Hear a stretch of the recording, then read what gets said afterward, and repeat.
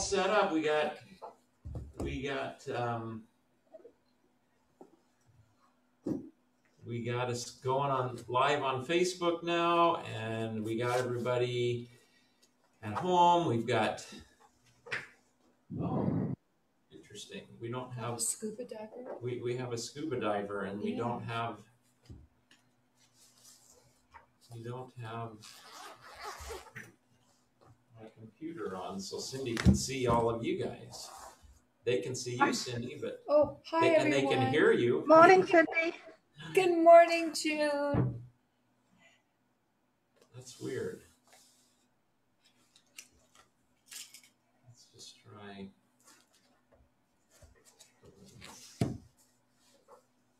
Pastor Bill, how is Kim? She wasn't feeling very well.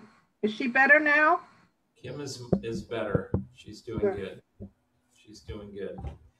Um, so, yeah, she's she. They're doing much better, and she is doing good. Let me just try and share my screen here. Welcome, Facebook Live, folks. Huh, that's so weird. The in-house one isn't working, but I guess we don't have to kill ourselves about that, huh, Cindy? You can deal with just hearing people. Oh You don't yes, have to I'm see 'em. fine with that. And you don't have to see the, I mean, my screen here, I don't, it's, boy, every week it's something else. It's crazy. Call Technology. Amazon, they'll fix it. Hi, Ace. Is that Ace? Yeah. yeah. Hey, hi. Ace is Hello. there. Ethel May, and now Kim is joining in. There's Kim. Hello. Hi, Kim. Good Kim. morning, Kim. Morning. So um, I am going to just try one thing. So um, just hang in there for a minute. Let's see. I think what I'll do is I'll press Minutes up. and then press on.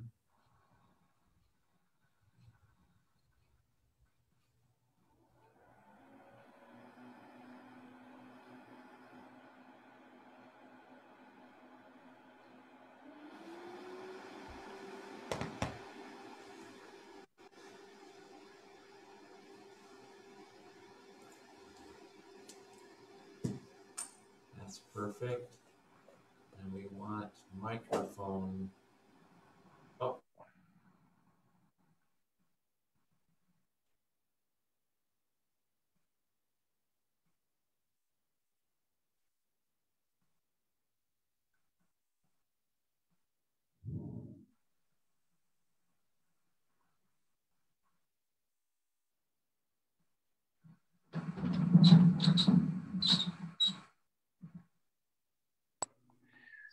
Hey, everybody. So, my computer just shut down because I thought I had the power plugged in, but I didn't. So, just hang in. Everybody chill. It's all it's all good. We're going to be up and running here in just a second. Facebook people, hold on. Hang in there. Call Justin. Yeah. No, that's okay. We uh I know how to fix this problem.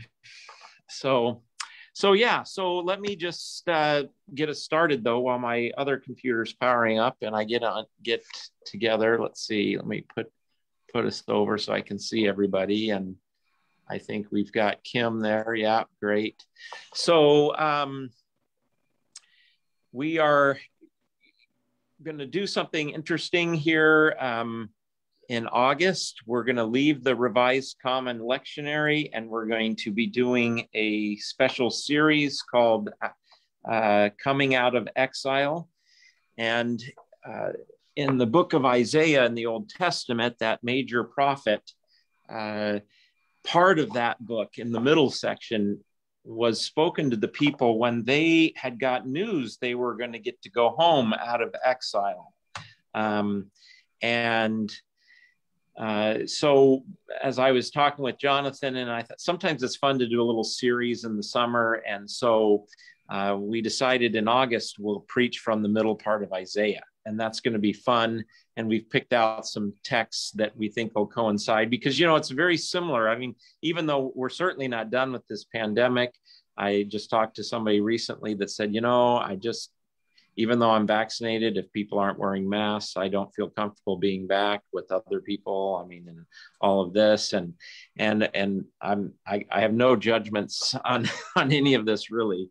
Um, I guess I have my own personal opinions, but but anyway, so we're still people are uncertain what's going to be the future, but we can come back, we can worship. Uh, we are going home. We are going to be able to, but yet not yet, and you know, so there's a lot of parallels to the situation Israel was in in exile and us um, coming out of this pandemic. So, so that's the uh, philosophy and theory of why, um, you know, we uh, um, we're gonna do it in this way uh, do, to do this little series. I'm now gonna get on Zoom. Let's see here. Okay, let's go here and go here.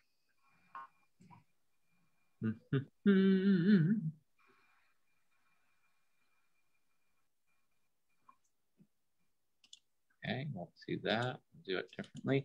So that's what's going to happen in August. So the reason I tell you that at this study, where we're still in the Revised Common Lectionary, is it, in year B, uh, and actually in the Revised Common Lectionary, I think it's every summer.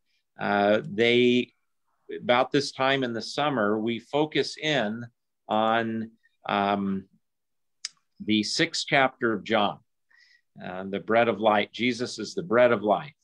And uh, so uh, we're, you know, what we're going to miss is like three more weeks on John 6, but we're going to do it one week. so we're going to get it all in one week. So I'm expanding a little bit here we go. Join with computer audio. All right, so I'm going to delete that. I'm going to go over here so you see Cindy on that one. And now I will go over here. We are live, but we still cannot see. Isn't that crazy? We still can't see them inside. Okay, we'll figure that out later. It's okay. Uh, start video. And And can you guys hear us? Yep, yep. Okay. And we can hear you. All right. And you'll be able to hear Cindy as well. So, okay. You're kind of in the background on your uh, voice. Okay. Let's see. Mhm. Ah, see why. Okay. That should be better. Yes. Yeah. Yeah. All right. Thank you. Okay. All right. Facebook people, thank you. I'm going to press record so we can upload this um, to. Thank you. All right. Well, let's. So, with that, we're going to do John 6. We add a little bit, um, subtract a little bit so we can get more of this in there. But so we're going to try and get all of what we can from John 6 in one week versus multiple weeks because we're going to do that sermon series. So there you go. That's that's what's coming. And so whether you're tuning in uh, in person or on Facebook or here or whatever or at home, um, you now have the 411 on what's going to happen in scripture readings coming up at SLC in the next uh, month or so. So with that, let me open us in a prayer and we'll rock and roll.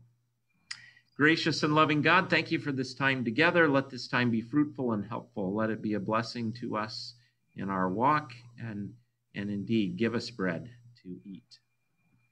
Bread that lasts for eternity.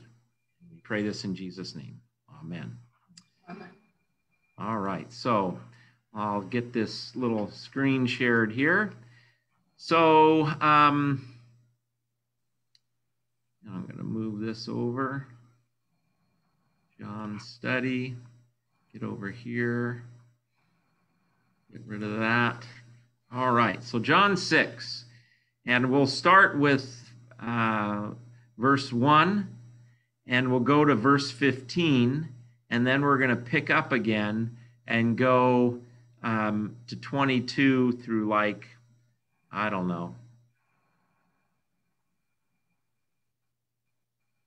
27, 22 through 27. So with that, anybody want to read 1 through 15, John 6? I'll read. Thank you, June. After Jesus went to the other side of the Sea of Galilee, also called the Sea of Tiberias, a large crowd kept following him because they saw the signs that he was doing for the sick. Jesus went up the mountain and sat down there with his disciples. Now, the Passover, the festival of the Jews, was near. When he looked up and saw a large crowd coming toward him, Jesus said to Philip, where are, where are we to buy bread for these people to eat? He said this to test him, for he himself knew that he was what he was going to do. Philip answered him, Six months' wages would not buy enough bread for each of them to get a little. One of his disciples, Andrew, Simon Peter's brother, said to him, there is a boy here who has five barley loaves and two fish. But what are they among so many people? Jesus said, Make the people sit down. Okay, now there was, There you go. thank you. Now there was a great deal of grass in the place, so they sat down, about 5,000 in all. Then Jesus took the loaves and when he had given thanks, he distributed them to those who were seated. So also the fish, as many as they wanted. When they were satisfied, he told the disciples, Gather up the fragments left over so that nothing may be lost. So they gathered them up, and from the fragments of the five barley loaves left by those who had eaten, they filled 12 baskets. When the people saw the sign that he had done, they began to say, This is indeed the prophet who is to come into the world. When Jesus realized that they were about to come and take him by force and make him king, he withdrew again to the mountain by himself. All right, so we're going to skip the walking on the water and we're going to go to 22. And can you go to 27, Gene? I mean, June? sure, let's try it. The next day, the crowd that had stayed on the other side of the sea saw that there had been only one boat there. They also saw that Jesus had not got into the boat with his disciples, but that his disciples had gone away alone. Then some boats from Tiberias came near the place where they had eaten bread after the Lord had given thanks. So then the crowd saw that neither Jesus nor his disciples were there. They themselves got into the boats and went to Capernaum looking for Jesus. When they found him, excuse me, when they found him on the other side of the sea, they said to him, Rabbi, when did you come here? Jesus answered them, Very truly I tell you, you are looking for me, not because you saw signs, but because you ate your fill of the loaves. Do not work for the food that perishes, but for food that endures for eternal life, which the Son of Man will give you. Excuse me. For it is on him that God the Father has set his seal. Then they said to him, What must we do to perform the works of God? Jesus answered them, This is the work of God, that you believe in him who has sent. So they said to him, What sign are you going to give us then, so that we may see it and believe you? What work are you performing? That's, yeah, that's probably good. Yep, yep. So we'll, I think, I think I cut it off in, for Sunday and at 29. Okay. But you know what? But you know what, June, let's just keep going. Let's, let's go ahead and do 30 through 35, through Okay. 30, 35 They or so. said to Yeah, him, Sorry. That's There okay. you go. Um, okay. Our ancestors ate the manna in the wilderness. As it is written, He gave them bread from heaven to eat. Then Jesus said to them, Very truly, I tell you, it was not Moses who gave you the bread from heaven, but it is my Father who gives you the true bread from heaven. For the bread of God is that which comes down from heaven and gives life to the world. And they said to him, Sir, Give us this bread always. Do just 35 now. Jesus said to them, I am the bread of life. Whoever comes to me will never be hungry, and whoever believes in me will never be thirsty. All right, perfect. So it obviously keeps going, um, but we'll we got to stop somewhere. um, so so there you. there, yeah, thanks June. Good job. Good job. So and yeah, I got it finally up there. Figured out. Yeah, so yeah, so now Cindy can see you guys. Um, so yeah, um, as we often do, I like to just start off with what jumps out at you here as you read, read this. Um, what uh, what what strikes you as you you know get into working with this? There are two things that jump out to me always, and that is how important bread and water were to the people in the first century. That was that was life, wasn't it? Yep. Yes. Absolutely. That um, that was the the focus. That was everything to them. So, yep. I'm gonna write write some notes.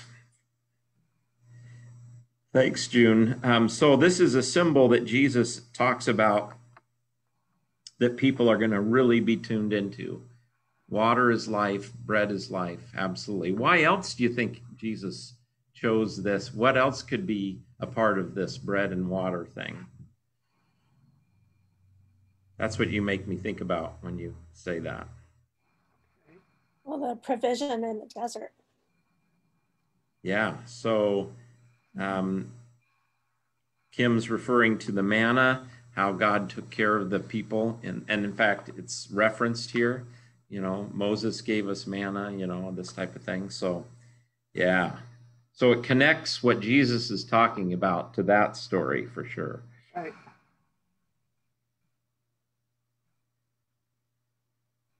Yeah. What else jumps out at you? Um, the crowd's asking a lot of questions, Yeah. and I, I, I have a inkling that they were confused. Mm. Yeah. Um, they're asked, I, and and I, you know, when they say, and then Jesus answers them, but they still kind of seem confused. Um, Mm. Not that I'm not confused. you you know all things. You are completely No, Yeah. no, it's just, you know, it's, you know, why did you go away? Where did you go? Um, uh, you know, these questions about it. Uh, what must what must we do to perform the works? Of- Wh- When did you come here? What must we do to the perform the works of God? And what sign? So these this is great. So they they have lots of questions. So maybe boy, that could be the structure of the sermon in and of itself right there. Okay. Um, let's see. Wait, I went too far. Um, when did you come here? what must we do must we do to perform the works of God and what sign interesting It also means that they're interested. hmm They're uh, they don't want to just let go. They they keep on, you know. Um, yeah it's like they really want to find out something. yeah they seem to be engaged don't they Yeah. interested engaged yeah yeah. That's good. That's good. And then and then he, jesus seems to hook him hook them. This my father gives you the true bread from heaven the bread of god that which comes down from heaven and gives life to the world. So so they're like yes give us that bread always. You know okay we got it. And what does he say? I am the bread of life. Whoever comes to me will never be hungry. It's kind of like a little bit like the the dialogue with the woman on the well at the well, you know. Right, You know, I'll give you water that you'll never thirst again. She says, "Give me this water." And right. and you know so so yeah if we dig down how do they respond to that Let's see Pastor Bill, I was uh, thinking about as, as she's reading this and we're talking, it sort of reminds me of uh, people who go on a trip together. And uh, there are always some people that are just at the head of the line and ready to get everything without waiting for the guide's instructions. And then there are some people at the end of the line who want to know more information. Now, is this whole wheat and was it uh, raised? You know, without fertilizer, and is it good? And and will I have any after effects of it? And you know, they're afraid to take part of what's available because of their anxiety, and others move ahead so fast that they don't listen to the actual reason for the thing. So he had a whole group of variety of people there. yeah what is that uh, there's the social uh, or group theory that you have your you you have your people who typically jump in who you know and then people who don't jump in who are like major questioning and then you got the people in the middle that are you know um, oh, what how they there's a different language they use to talk about that dynamic that you know um, so yeah you've got the whole assortment here don't you ethel may yeah that's good yeah, I was just thinking about how do they respond after Jesus says, I am the bread of life. I've come down for everything the Father gives me will come to me, and everyone who comes to me I will never drive away. And I have come down from heaven not to do my will, own will, but the will of him who sent me. And this is the will of him who sent me, that I should lose nothing of all that he has given me, but raise it up on the last day. This is indeed the will of the Father, that all who see the Son and believe in him may have eternal life, and I will raise them up on the last day. Okay, so here we go. This is the bread of life. Why the bread of life has come. Um, they said, You'll give us this bread always. But now, the response to that from the Jews, they begin to complain about him because said, I am the bread that's come down from heaven. Why are they complaining? Because um, uh, isn't this Joseph, Jesus, son of Joseph? We know this guy. You know, I mean, he, he's full of himself. How can he now say, I have come down from heaven? Jesus says, Do not complain among yourselves. No one can come down unless drawn by, come to me unless drawn by the Father who sent me. Um, this is a big text, by the way, for our Calvinist predestination folks that an irresistible grace. No one can come to me unless drawn, or this Greek word here is to drag, actually. You know, you're you you're driven in you know we and and we're half predestinated we believe in predestination but not pre-damnate you know we don't believe god destines anybody for not believing but we believe that our coming to god is really being drawn by you know we we really don't you know jesus will say in another spot uh, you know i chose you you didn't choose me. So anyway but anyway that's just a side note that that's a really big important text. Um, uh, so uh, very truly, whoever believes in me has eternal life. I am the bread of life. Your ancestors ate man in the wilderness and they died. This is the bread that comes down from heaven that one may eat of it and not die. I'm the living bread that came down from heaven. Whoever eats of this bread will live forever. And the bread that I will give you, give for the life of the world, is my what? Flesh. Okay, so now big trouble there Yes. Um, and again, we're not going to go into all this on Sunday, but it's hard to stop halfway through. Um, then the Jews are all in an uproar. How can this man say he gives us flesh to eat? And then he has this very difficult saying about people, you know, um, you know, unless you eat of my flesh, the son, flesh of the Son of Man, drink his blood, you have no life in you.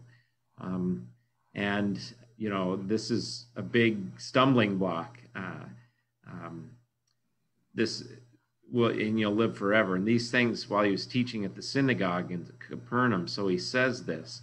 And at this point, then after that, a lot of people say, We're out of here. This guy's crazy. Yeah. The teacher difficult. Who can accept it? But Jesus, aware that his disciples were complaining, said to them, Does this offend you? Then what if you were to see the Son of Man ascending to where he was before? That's that Jacob's ladder reference where, you know, it's a theophany. Um, it is the spirit that gives life, the flesh is useless. The words that I have spoken to you are spirit and life, but among you there are some who do not believe. And this is a reference to Judas. Um, and then this is the catchphrase right here. Because of this, many of his disciples turned back and no longer went about with him. So at this point is a jump off. You know, this bread of life stuff is is you know parting words. This is offensive. Uh, you know, people can't handle it, and they leave him. And so then Jesus says, "Do you wish to go too?" And Simon Peter says, Lord, to whom shall we go? You have the eternal words of eternal life. Um, we have come to believe and know that you are the Holy One of God. So I did not choose you, did not, anyway. Then he goes back to this is what we sing on Sunday mornings, isn't it? Most people don't know where that comes from. Alleluia, Lord, to whom shall we go? You have the words of eternal life. Alleluia, Alleluia. So let it be, you know, truly, truly is Alleluia. It's, you know, so um, we sing that, which is Peter's word to Jesus when Jesus said, Are you going to go away? And so by us singing that, we're really saying, Lord, we're not going away. We are going to listen. And again, so many times where we quote scripture in our liturgy, we don't always know where it is. And we kind of lose some of the power of it. Um, that's why we sing that at that point is no, Lord, we're not leaving. We're sticking with you and we're going to listen. We're going to let you work on us. And so there you go. So that that puts the whole thing in context of where this goes. So it's interesting. And I went there because Cindy, you mentioned, you know, the, they're inquisitive. They have lots of questions and June drew our attention to one question in particular, but we got three questions, and then the the response it seems like isn't very good. They're not like, well, at first they were like, yes, give us the bread always, and then they go, oh, wait a minute, I don't know about this. You're the bread. you're the bread. You're the manna. How can this be? And then they have a they have a stumbling block there. So anyway, interesting. I went on a little long there. So where where what what what keeps surfacing now for you? I think they were frightened when they heard eat my flesh, drink my blood. I think they're thinking cannibalism. My goodness, what's going on with this guy? And I right. think it scared them. He yep. was talking to them in mysticism, and they were talking to, they were listening with rational ears, with yeah. ears rather than ears of faith. Yeah, yeah. So, um, your comment makes me think about some more history with this chapter. And so, uh, Lutherans and uh, the other Reformed group hmm. was championed by Zwingli, and and then Calvin kind of comes after that. They looked at this and they said, yes, the last part is about the Lord's Supper, and obviously Jesus is talking purely symbolically, and right. so they they went to this chapter to say, Lutherans, you're wrong about the Lord's Supper. It's not really Christ's body and blood. Um, this is just a symbol. Obviously, he says, I am the bread of life. He says, I'm the light of the world. He says, I'm the water of life. Jesus talks symbolically. That's what the Lord's Supper is. It's not really the body and blood of Christ. And so Luther pushed back. He's not talking about actual bread.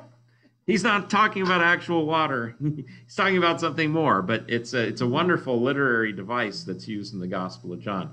These uh, the crowd or the disciples or the woman at the well, they're kind of the foil. They're they like get us like, a, come on, it's not that, and then yeah. we go, oh, so we get it, you know, type of thing. So, yeah, so they're they're they're missing it, aren't they, June? Yeah, mm-hmm. yeah, yeah. But you know, we when we go when we go to the end of the chapter, we talks about my flesh is true. You know, I I don't know that this isn't a reference. Church fathers have wrestled with this. Is this a reference to the Lord's Supper? Because um, he does say, "This is my," you know, takes the bread and he says, "This is my body given for you." In the Synoptic Gospels, in the Last Supper, this is the new covenant in my blood, shed for you and for all people. So, you know, this is. Uh, it, maybe he is talking about the Lord's Supper here, um, and actually affirming the real presence uh, that that Christ is in with and under the bread and wine, as we like to say. So anyway, but just it's it's been a this is this chapter's really been hashed over and worked over on some of those questions for sure. Yeah. Yeah. so how does this preach good news? How does this help us? This all this talk about Jesus being the bread the very sentence. Anybody who believes in me will have eternal life. It, it's again talking about faith. Can you believe in me without signs? Can you believe in what I'm telling you without signs? Or do you constantly have to see? And that's the difference between faith and not faith The fact that I mm. can believe without seeing. Mm. Yeah, that fits. That fits June with that Thomas dialogue at the end after he's raised from the dead. More blessed are those who believe and do not see, like Thomas got to see. Yeah. Yeah. But he still gives those as a gift. I think those signs that, um, you know, I think it would be hard to believe someone who comes in and says all these things that are so uh, contrary to what they've been taught and taught and taught and taught. And, you know, uh, faithful Hebrew people that have been, you know, living living a life in their God all these years, and then now this guy comes and turns it all on their head. I think it would be hard to do these without sight. You know, it would have been hard for him just to come and saying these things and have people draw the conclusion that, you know, he is who he says he is without there being some sort of sign. Yeah, excellent. Excellent, Kim. Yep. Um, and what is the ultimate sign he gives, you think? Well, ultimately, it's his death and resurrection. Right. Yep.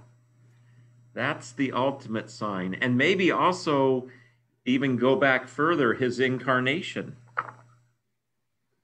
Um, because, you know, what sign are you going to give us? And he says, they gave us, God gave us manna, or Moses gave us manna. And Jesus reminds them, it wasn't Moses, it was God. And so God too is giving you a sign, and he says, hello, look at me. um, he says, I'm the one. I'm the one that, uh, you know, um, I'm the one you should be looking at. I am the sign. He's standing in front of you. you know, you're missing it. You're looking for me to do something. I'm it. Um, and then he just starts talking about himself, which that then freaks freaks them out. But so so absolutely, Kim, the death and resurrection of Jesus is the ultimate sign, the ultimate uh, you know, the death, they, you know, Jesus being put to death silences everything he said about himself and about God. And the resurrection said, uh uh, not so fast. It's all true. What Jesus said is true. So the resurrection confirms, you know, everything that Jesus is saying here. And so that is the ultimate sign. But maybe we could also just say Jesus himself, the whole event, his incarnation and you know his birth life death resurrection it all is that is that sign perhaps yeah yeah excellent um, one of the things that I, this, that I was thinking about is do you Whoop. also wish to go away in uh, verse 67 I just wondered that. I mean, that's kind of a, uh, for some reason, an emotional question. Yeah. Um, he's. I mean, I can just see him seeing some of his disciples turning back and and going away, and it's you know. I know Jesus knows everything. God knows everything, but still, that question uh, just kind of it, it shows it shows the hu- humanity of, of of God in Jesus. Mm-hmm. You know. Yes. And then this this part that it's um, then Simon, Simon Peter, uh, sorry, Simon Simon Peter says, "Lord, to whom shall we go?" That's like, like you can just see Peter say, you know, I mean, who do you think we're going to go to? Mm-hmm. You know, I mean, we've been hanging around with you a long time. Yeah. We've seen uh, signs and we've seen this and we've seen that. Yeah. We, you have the words, you know, and Mm-hmm. to me, I, I just embrace that because it's kind of like, that's what I say to myself. Oh, Lord, who else would we go to? It's, it's right here. Yeah. I and I don't know. It's just that I still get wrapped into that. You know, you're the one, and so being the one, uh, and Peter's saying that it's like he's saying, okay, maybe I don't understand all this right now, Mm-hmm. but I trust you. Mm. I don't want to go to somebody else. I mean, he Mhm. could have said, well, wait a minute, let, let, let's talk to the um, the elders, and let's talk to this, and let's talk to that, and see if this is Right. you know, squares away with, you know, Jewish, Jewish custom. Mm-hmm. No, he didn't do that. Mm. Right. Yeah. He says, he says, you have the words of eternal life. Yeah. Oh. And it's, that's his, his trust. That's what we sing every time. You have the words. We trust you. We're not going to go anywhere else. I know there are some people that are not going to follow you, but I'm here. That's, you know, maybe that's why Jesus said, I'm going to build my church on, on you, Peter. Mm. you Yeah. know? Yeah. On his uh, his his saying, "You are you are the one that Yeah. has the words of eternal life." Yeah. Yeah. Yeah. Yeah. That's that is actually what what the Protestant Lutheran take on that. Uh, Jesus saying, "On you I will build my church." Yeah. You know that it's on Peter's confession and not necessarily on his person. You know. Yeah. I mean, after all, remember who Peter is. Come Yeah. on. So, but you just said something that really that well, a lot of what you said resonated with me. But um, so Peter says, "You have the words of eternal life," and Jesus has said that the bread, the one who eats of this bread, will have eternal life. So if words of eternal life and bread and eternal life, so really, what is the bread Jesus is talking about? Is the word. His words. Mhm. Yeah, it's his preaching Mhm. it's his teaching it's his proclamation um, so yeah that's that's really cool i hadn't made that connection so yeah really helpful really good what else let's see um, oh some another thing you said or i think uh, maybe this was off of what june I, I this is the work of god that you believe in whom he has sent so you know, we as human beings, when we encounter, look at the transition. Okay, so we want to know when when did you come here? How did you get here? Um, and so they're like, you know, that gives Jesus an opportunity to say, I know what you're after. you ate your fill of the loaves, so you're you're hungry, and that's all fine. But you know, um, don't work, don't don't be about that. So so their first question Jesus takes as they're just hungry and they're like, "Hey, and and you know, I bet you the bread that Jesus multiplied was pretty good. I mean, I'm sure it was warm and you know, chewy and just mm, you know, so they want some more. But so that's their first question, you know, like we want that really, and that's the way Jesus takes that. When did you come here? In other words, hey, we're we're looking for some bread. Jesus says, uh uh you know, work for the food that, you know, do not work for the food that perishes, but the food that endures for eternal life, which the Son of Man will give you. For it's on him that God has set his seal. That's an important thing. We need to come back to that setting of the seal thing. Um, so, so Jesus points him and then say, "Well, what must we do to perform the works of God?" And it's interesting. You get the juxtaposition here.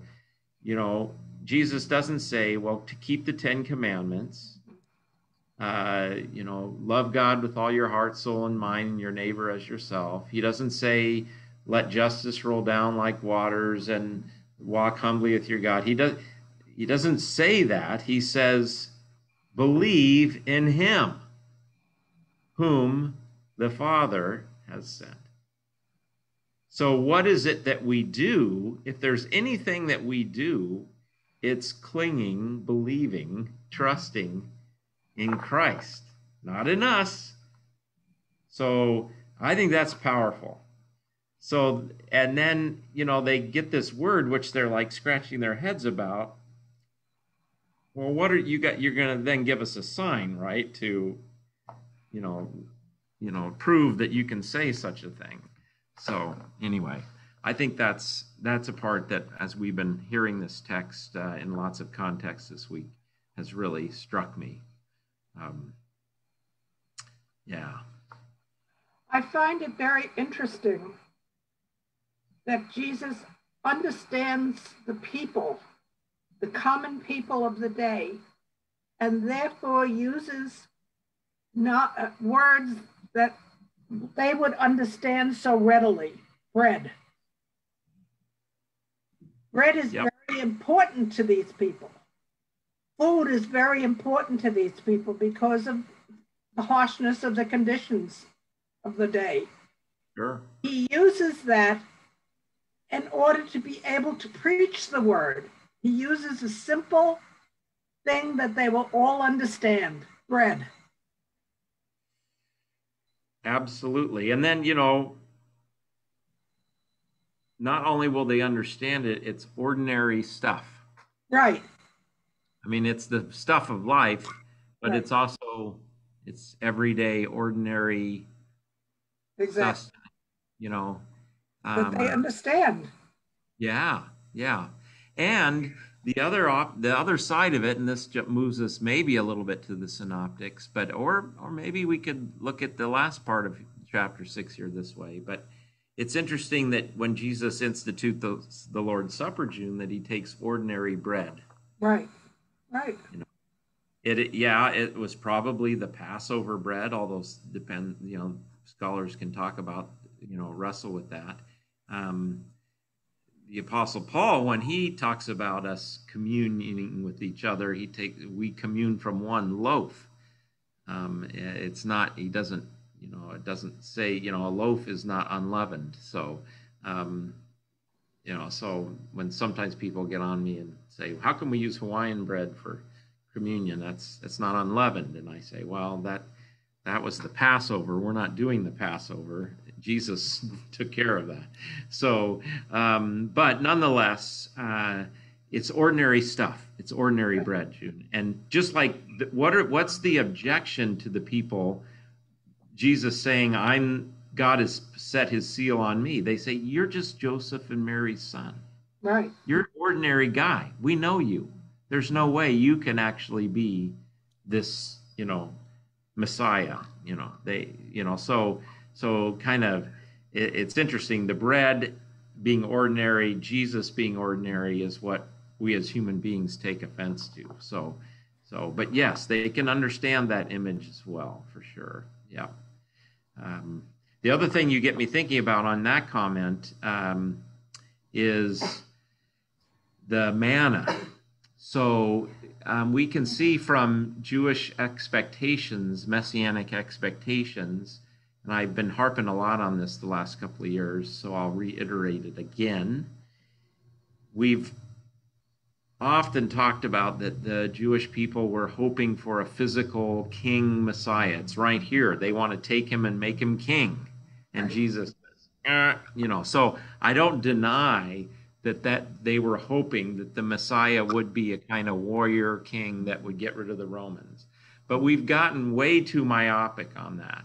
The messianic expectations of the Old Testament and the Jewish rabbis of Jesus' day, and certainly the ones even after Jesus' day, the, the rabbis that didn't see Jesus as the Messiah, they they expected that when the day of the Lord would come and the Messiah would come, is that there would be a new kind of Moses, um, a prophet like Moses. And what did Moses do? Well, he led them out of slavery, and then he gave them manna in the wilderness. He gave them the supernatural special bread in the wilderness. And so when they talked about when the Messiah comes, one of the things the Messiah would do is give them new manna. And so here, look what Jesus is doing. He feeds 5,000 people, you know. So, you know, uh, what a lot of the Jewish leaders should have been going, wait a minute. Is there's a connection here? And and when is it happening? When does the story happen? Just so happens John tells us now the Passover was going, which the Passover is the celebration of God taking the people out of Egypt, the new Exodus, and then the manna. The Passover was really a celebration of the whole event, you know. So, so it's interesting that that's the context here. Um, so, yeah, really cool. I have a little tangent that I was thinking about going on, but let me pause and see what other comments you've got here with this. Where do we get this bread today? Maybe a simple answer, but where do we get it? Where, I mean, you know. after we sing Alleluia, Lord, to whom shall we go? You have the words of eternal life. Yeah, that's where we get it, isn't it? Yeah. Right after that. then you give it to us. there you go. I give you the food. We Jonathan gives you the food. Your pastor gives you the food. You give maybe you give the food when somebody you see is hungry for something more than just actual bread that they're searching and you can tell them Jesus loves you and forgives you all your sins. Jesus is with you. Um, you know.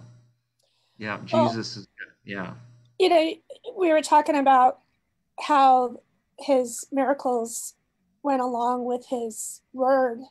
And mm-hmm. maybe that's kind of the same for us that our our works of the spirit go along with the word you know they they get people's attention and uh, get them in a place where they can hear the word you know like i was thinking about um, um, you know, the, supporting food pantries and supporting backpacks and stuff like that. You know, we we do those things, but there's a message in there too, you know. And I, I don't know that people would be as open to hear the message without having that practical gift too.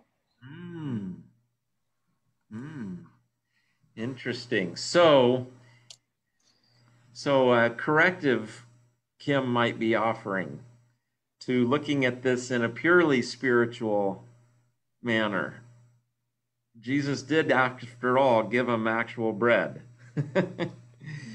so, and if we just want to talk about Jesus's word as the bread from heaven, then we maybe also better be helping them with the actual bread they need to keep them going.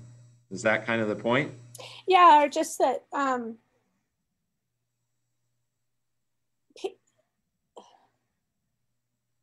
this is hard stuff to understand and but it but filling your belly is easy to understand and yeah. a church that will you know a group that will do that for you is going to get my attention um, i guess that's kind of where i was going and so it's kind of like with the miracles too that he didn't have to do those but they got people's attention and they came looking you know i think it says that in the first part of of the chapter that they were following him because he was healing people. And so that's what hooked them. And then the word is what, you know, cleaned him and fried him, kind of, you know. Yeah. Yeah. Well, I, I that's intriguing to me because um Me. I think the church has lived with that and that tension, It's you know? a tension, right? Yeah. It is a tension, and sometimes we we um, we err on the side of trying to correct it. In the '70s, there was quite a movement about, you know, it's it's symbolic and this is what it is, and so we can use graham crackers and soda pop for the elements in the communion. It's His Word that does it. Well, that you know, it's an emphasis on the word, but let's be a little bit reverent about the situation too. That doesn't didn't quite Yeah. go with my understanding. No.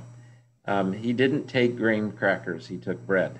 That makes me- Well, that Yeah. that's just bread to some people. So. Yeah, I guess Yeah. so. But yeah, so but you start getting away from his Yeah. word and the what he what he did, then where do you stop? Like, you know, Yeah. and I you you get me thinking Ethel May of my biggest struggle with uh, you know, virtual home communion.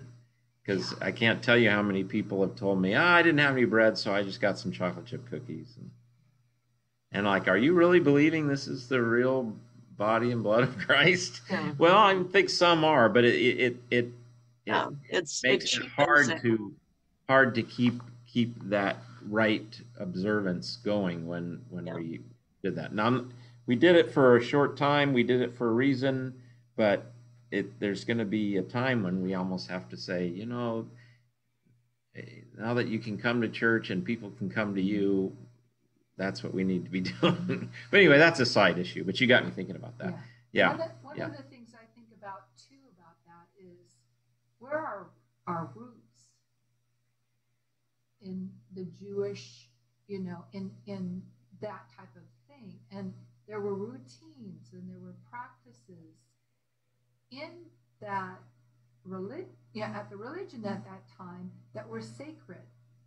And to throw that out and say, oh, well, we'll just do our own thing Yeah. is kind of like denying our four month four you know the the Four people four Runners. Yeah. runners Yeah. of Yeah. faith Yeah, and our, and are being rooted in that tradition, you know. right Yeah, and that's that's what makes it safe yeah, in a lot of in a lot of ways the saying we're just continuing yeah, you know something that is not creative we're not trying to be creative here hmm we're mm-hmm. trying to just practice these routines because we hold them sacred yeah, yeah, yeah, and and yeah, absolutely.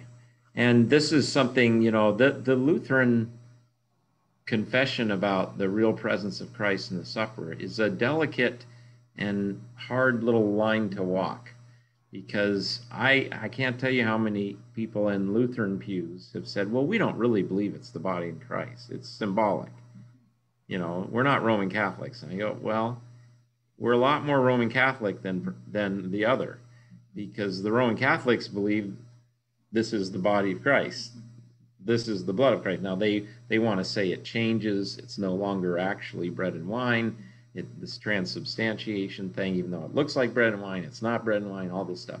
It's they use a, Aristotelian um, kind of philosophy um, language to describe this change, but we just say the scriptures don't really go into that. We're just going to trust that Jesus said, "This is my body." So if he took bread, then you know, so to to not do that, we lose touch with him. I think in that a little bit. But anyway, yeah. So no, that's that's that's helpful. I'm I'm still wrestling a little bit with what Kim was sharing about, you know, that the church, you know, in Ethiopia, the one of the officials there said, "We care for the whole person." That's the way they looked at it. And so, yeah, they were involved in pantry kitchens and, you know, helping people who were suffering and hurting and, you know, being with widows and, you know, because there were a lot of those um, for lots of reasons. And even some, you know, challenging the government, you know, position. But the church was, um, you know, just like here, various church, various groups and churches were more or less involved. It's not as safe there to challenge the government as it is here, um, or whatever authority. And we're seeing a lot of struggles in Ethiopia, but they cared for the whole person. That's the way they looked at it. And I guess that's the way to bring the like the tension Kim I think was referring to is like the church feeds. We're going to feed people at manna manna um, or at hearty meal today. Uh, and the church has been very good about doing social ministries like that, advocacy, um, uh, you know, advocacy or soup kitchens. How many soup kitchens were not started by Christians? I don't know. Not very many. Not very many. You know, I mean, the church has been great at this. You know, the Jesus's words about when and you've done it to the least of these, you've done it to me, have spurred us on as they rightly should, and we've we've done a lot of that, which we should do. um, but we've also got another word to say to people, like Kim, you said, that's not easy to understand sometimes, you know. Um, well, and feeding is easy to understand. And so um, I can see how it's easy to sort of stop there and say, well, this is the gospel. Um, yeah. You know, especially if you had to explain John chapter six to somebody coming in cold, you know, that's that's yeah. hard. Yeah, this saying is too hard for us, Lord. uh-huh. Yeah. yeah. Yep. And we don't necessarily. Yeah. Go ahead, June. There is an individual side of this that I see. If feeding the bread, if the bread is the word of Jesus. Yeah feed myself every time I read scripture. I feed myself every time I say prayers. So even though I'm not actually taking communion, I'm using Jesus' words to feed my own spirit. Mm-hmm. And an individual thing I can do every day. Yep. Yep. I think, and I think there's power to do it individually, and there's power to do it together, like Absolutely. we're doing, today. like we're doing today, or we do when we read scripture publicly in worship. Um, I think all of that is is is food for our faith and our soul, nourishment, um, whether it's our faith or for our Christian life, whatever. But um, it, it it definitely functions that way. I mean, there's just something that when you just are steeped in the word, it, there's I don't know, there's just something to that. So yeah, that's great. That's and, great. Um, to kind of piggyback on uh, Kim's idea about the Trinity, I mean, how many times have I, you know, kind of wondered about something or been thinking about something, and it's like, okay, where are you going to go? Well, that's the spirit working in my heart, working in my mind to say, where are you going to go? You know, and that pushes me right into the Bible. Yep. What is the, the verse I want to read? What is the passage I want to read?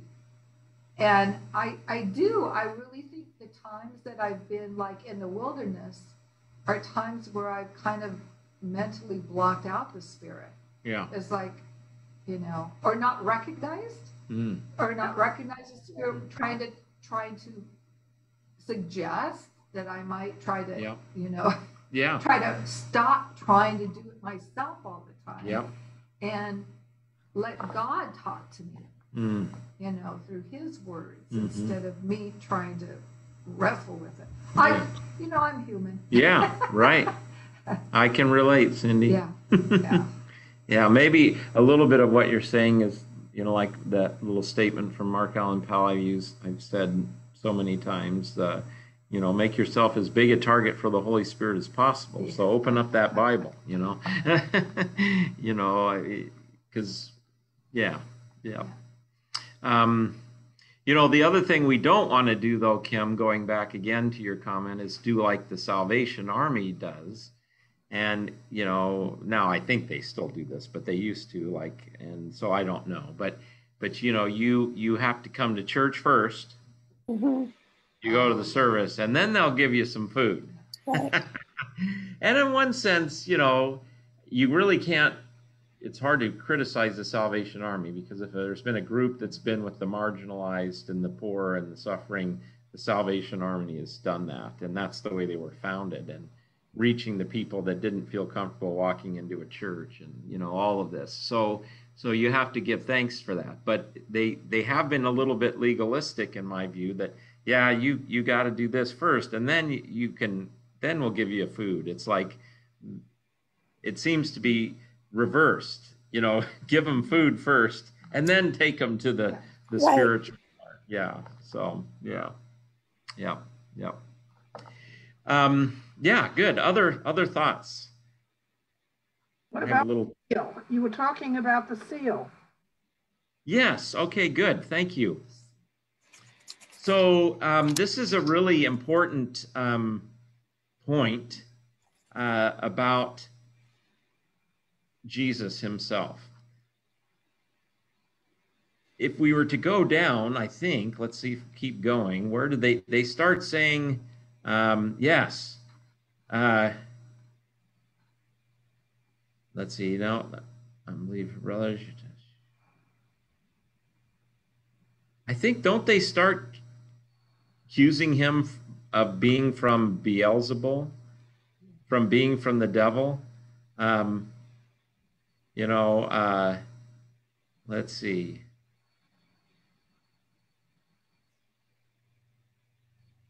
Yeah, it, it's going to happen if it hasn't already happened, where they're, you know, Jesus is accused of being from the devil. Um, and so the question is, where's Jesus from is really important. Is he sent from God or is he sent from uh, the opposite of God, from the devil. So um, if we if we go over here and I do a quick little search in the let's let's do this, but I want to put the search over here so you guys can see it better. And we go, let's see, New Testament, and we'll just use the word sent.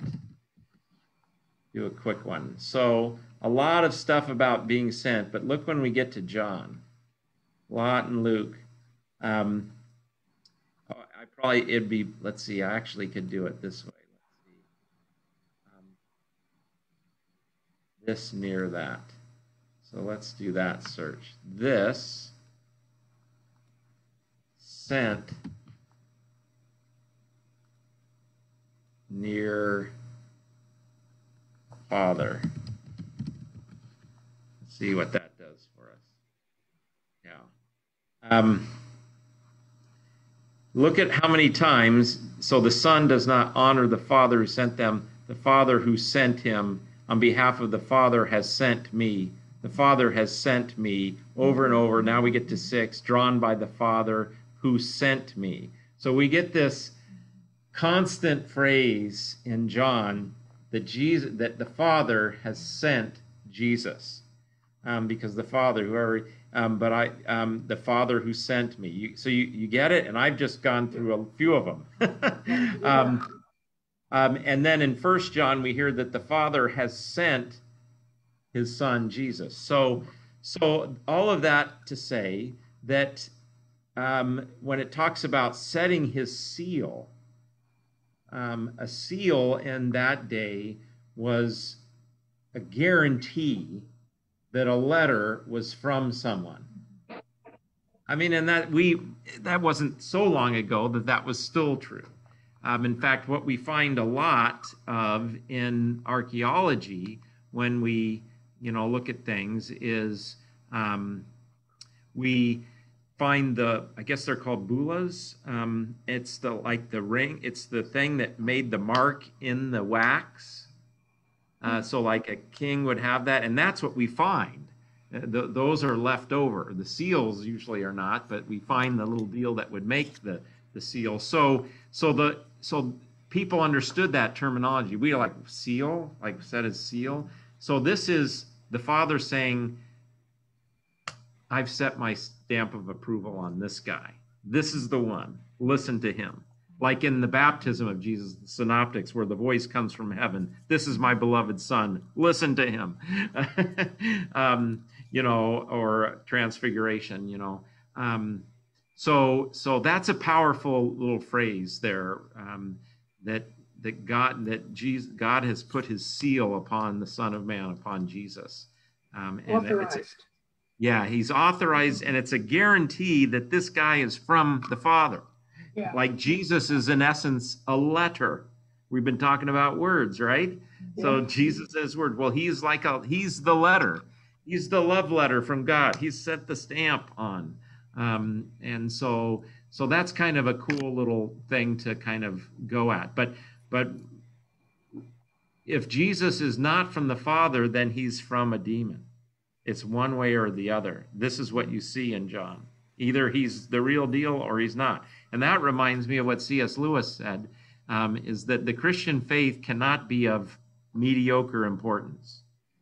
Either the Christian faith is the, of absolute importance or it's of no importance because Jesus was delusioned or he was a liar or it was a joke or it was all made up. So it it's it can't be of eh, mediocre importance, um, which is really interesting because either he's from the Father or he's not. Um, you know, and then I think it might have been C.S. Lewis that also went on to say that you know, you've got three options when it comes to Jesus. He is either who he said he is, and thus case listen to him. he's the Son of God. He's God in the flesh. He's, you know, the second person of the Trinity.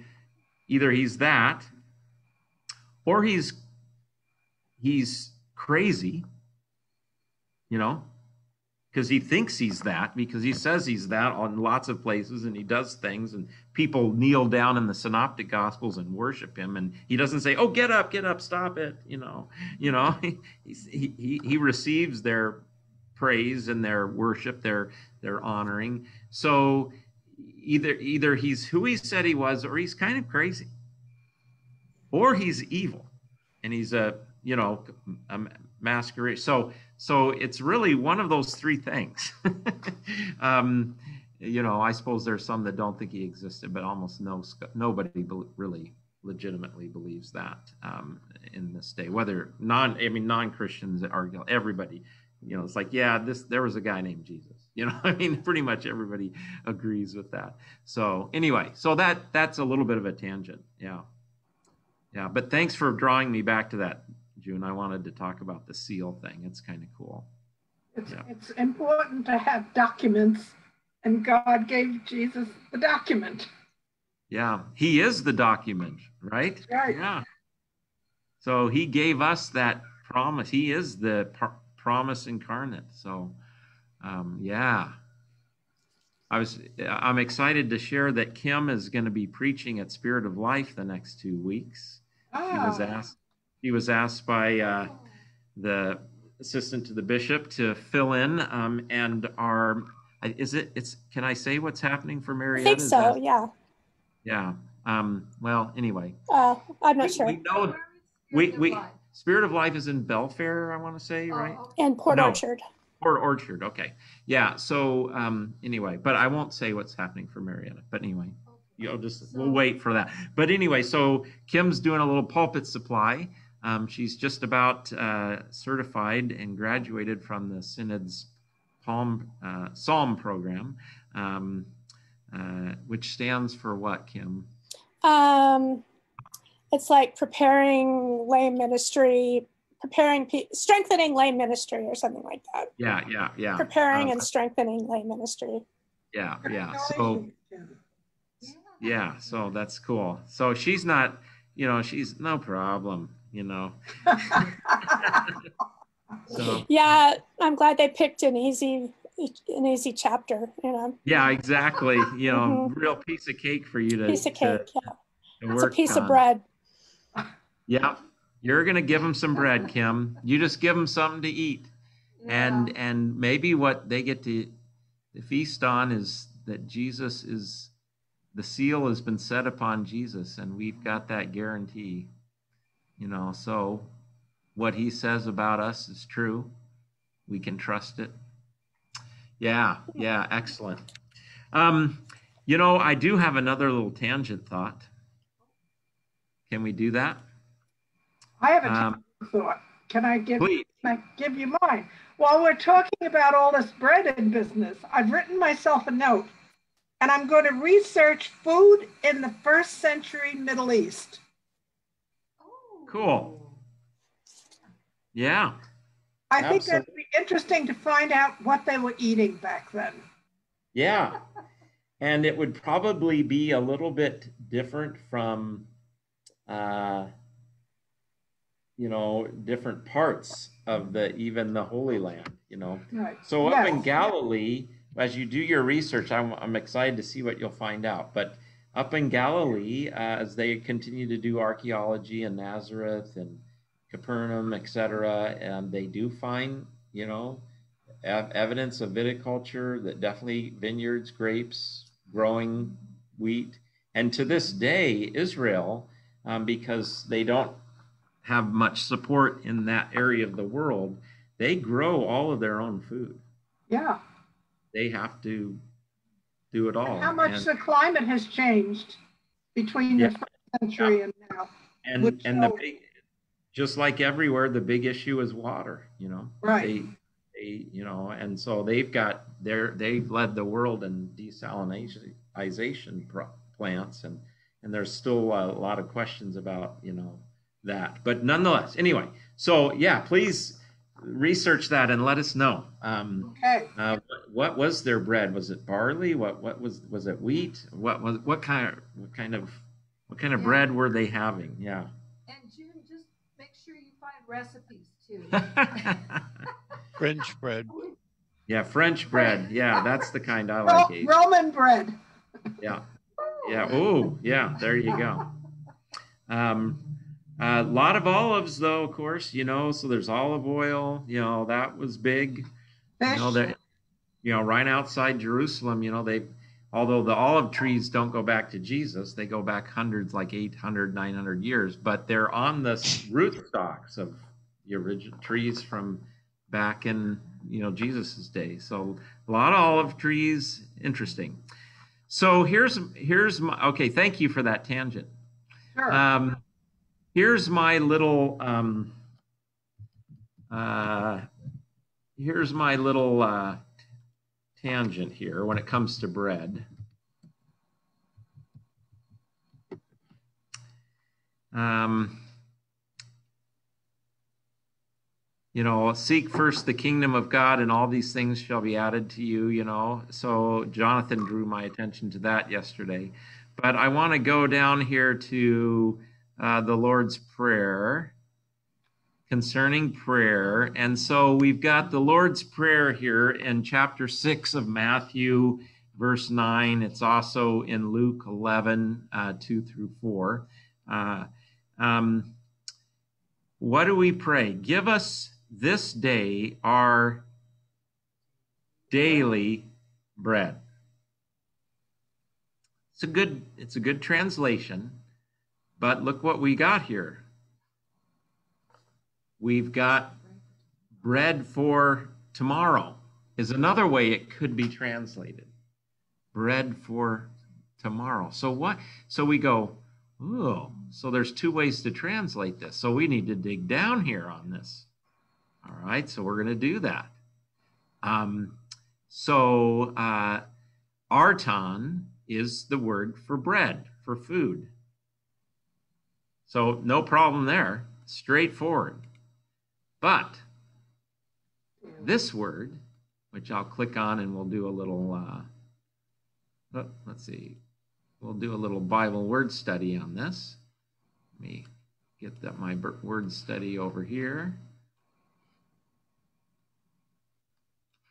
Now, when you see a circle like this in my Logos program, you go, wait. There's only one way that that's translated into our New Testament, and it's translated as daily in this uh, revised. I think I'm working in the Revised Standard Version, a new Revised Standard Version. But look what we find here. So when I click on that, that gives you all the occurrences of this word. How many times does it occur in the New Testament? Right? We're studying Matthew here, 6:11, and the parallel Luke 11:3.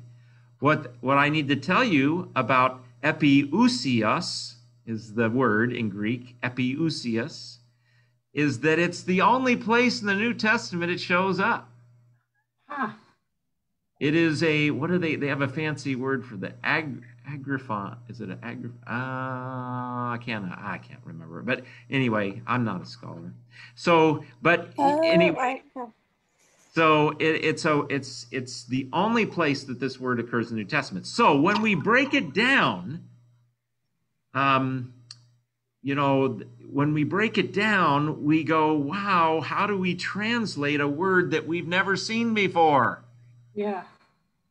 So when you do that, um, you in Greek you you go to the root and the endings and this type of thing. So epi is a preposition, um, and uh, ousios is is the actual word. So um, if we were to dig down, and we're kind of running out of time, uh, we would see that that they get the word daily from like ongoing. Uh, uh, epi, like uh, it's like, well, let's just see what let's just see what a um, let's just see what uh, a uh, Bible dictionary does with it. Like, let's do Louw-Nida here. Uh, um, oh, what happened to it? It left me. I lost it. So, pertaining to reoccurring on a daily basis, daily on each day. Um, uh, uh, uh, you know, um, so even though there's other forms, ousios is like uh, is that word for substance, like ongoing substance. Uh, uh, is is really almost the best way to break it down. Um, homoousios is what they said about Jesus being fully divine and fully human, one substance with the Father. So homoousios. So so one substance. Well, this is epiousios. So like ongoing ousios, ongoing substance bread is but we wouldn't translate it that way. So they say daily. So um so or or bread for the morrow so ongoing so the bread that so tomorrow what we need tomorrow too you know that type of thing some people say that this is a reference to the day of the lord um what we need at that final day or whatever but the cool thing when it comes to manna and i might even sound a little roman catholic here now uh, some of the church fathers tran- translated this daily bread as super substantial bread. This is this is the this is not ordinary bread. This is could it be that Jesus is talking about the same bread he's talking about in John 6? Now now it's interesting Luther's take on this is he he jumps full into daily bread as in the ordinary stuff that we need in life. Daily bread, you know, food, water, friends, family, you know, a shelter, you know, that God is that provider. And I love that. It's beautiful. And I I think there's good reason for that. But some of the church fathers say is he talking about the Eucharist? Is he talking about Jesus as the bread? of life and then him coming to us in this supper in this meal i, I don't know but he could be um, and of course catholics how often do they take the lord's supper? As often as they can. They, a lot of devout catholics are in mass three times a week or every day. Yeah. the priest is doing this daily. So give us this day, our daily give us this day. So we've got the word for day um aerma um so so give us today our daily ongoing bread yes that's fine or it could be give us today this special bread and do it daily so the catholic church has mass every day Oh, Interesting. there you go. There you go. I think that's partly why. Um, and then there's other theological reasons that they do it. But um, I I don't know. I just think there's some mystery. I wanted you to know there's some mystery around this little Yeah. daily bread here. That's really beautiful and wonderful. Um, it's it's a word that only shows up here that we have to kind of go to the the little parts of the word to see what it means because it doesn't show up in other places either. Yeah. Also, our daily bread could be this. Bingo. There you, go. know, do you read your Bible every day? Yes, it's part of my daily bread. Yeah, you could say, Lord, give us this day our daily bread. And he says, I did. It's sitting right in front of you. yeah, Open it up. it's my word. It's Yeah. my word.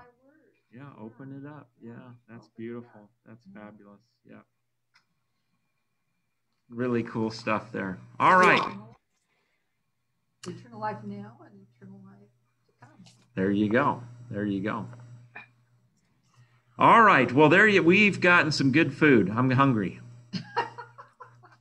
I wonder what Hearty Meals is serving today. I hope there's some bread.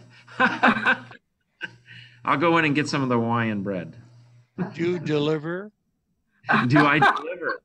DoorDash. Well, you know, we need to start. th- There's some health department issues with doing that, uh, but uh, uh, at least in the past. But you know, um, but we need that. That's a ministry that we could start up. Is that maybe Hearty Meal?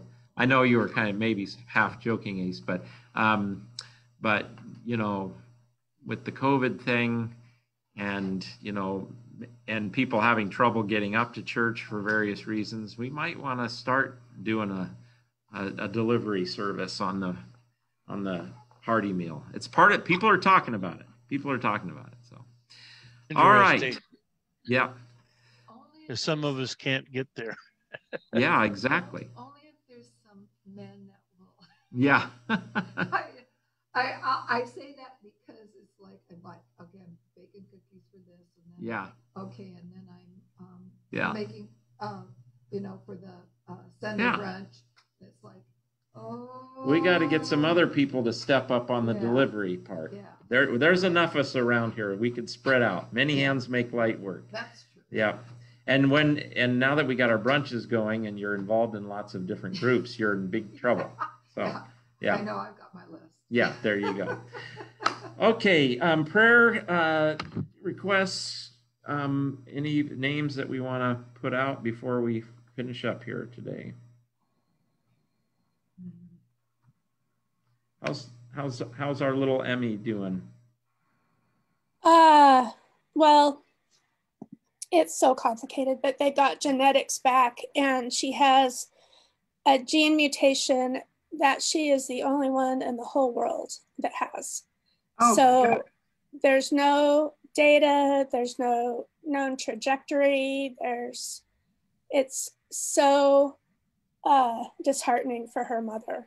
She was really hoping that genetics would show something, and it did, but they don't know what it means. So it's just strange. very We- difficult Keep praying for them.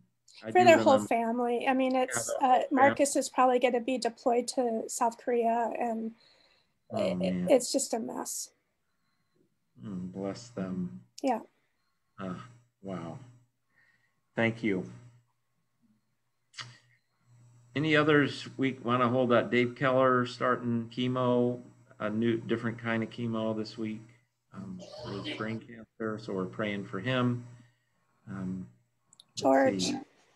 George, yeah, George Roberts says he's learned about two two different kinds of leukemia, so he's going to be looking at what they what next steps are with that. So, so lots of prayers for him.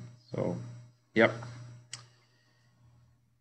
Prayer All right. that we're almost coming out of the pandemic, that God has spared us and maybe taught us a lesson. Yeah. I think about what a gift it is to have had a vaccine and just think about how many people in the world don't have that luxury. and and I, I my prayer now is that it can get out to more and more places. even while we have to start talking about a booster shot, you know, mm-hmm. and there's Okay. there's a there's a lot of ethics involved in the World Health Organization. They're like, uh, Pfizer, let's get everybody a vaccine before you start working on a booster. Uh, now, I'm not saying they can't do both at the same time, but but it's really interesting uh, about in that regard because I think getting everybody vaccinated, not just in our country, but but in the world, is the way we'll kind of stop this thing from mutating. But then you're dealing with free will, and there are people that will not. Yeah, and and some people have good reasons, and some people I struggle with their reasons, but I know a lot of people I know and love and respect to the utmost that have reasons, and like I say, I I try not to judge on that, and All right, you know, but that's free uh, will. so so yeah, that's freedom. uh, so yeah. Um, all right, VBS? and our VBS coming up. Uh, Yeah. All right. And it is it is Emmy, right, Kim? Yeah, That's Emerson. Emmy. Yep. Emmy, that's what they call her. Yeah. hmm All right. Thank you. Yeah. I'll tell her mother that you asked about her. Yeah. All right. Let let's close in prayer. Gracious God, thank you for the food today. Thank you for your word, for this bread that endures and keeps us going into eternal life. Um, thank you that you've chosen us. Thank you that you have worked in us faith and um, just continue to feed us in your word. Lord, um, we pray for your church as it emerges from the pandemic in our world, and we pray for that ongoing process as we're not out of the woods in any respect yet, and it's still dramatically affecting everything. So we pray for your guidance and your wisdom and your endurance and fortitude and strength and patience. Lord, we pray for little Emmy and her medical issues and pray for her healing and for mom and dad and the whole family. Uh, hold them in your care.